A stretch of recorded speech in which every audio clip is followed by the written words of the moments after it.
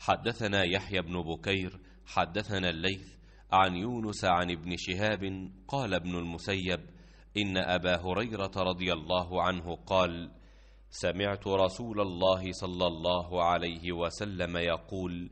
الحلف منفقة للسلعة ممحقة للبركة.